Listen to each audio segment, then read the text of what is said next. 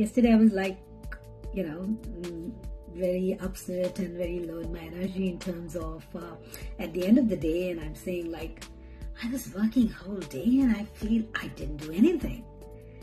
And again, back to my mentor, Mahavi, he just came back and told very nicely to me that can you just identify what the gap is? And possibly the gap is like, you know, I may have listed 10 things, but I didn't do those listed things but did other things.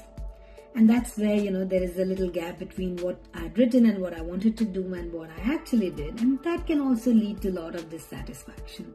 So a good idea might be to write down and try and hit just the very first task in your priority list. And that can kind of help you, um, you know, manage your um, time as well as your emotion and mood and give you that sense of accomplishment. And another one was also like, I was like, ah, this is my weakness, this is my greatest weakness. And the good word he said was, uh, try and say, this is my area of improvement, you know.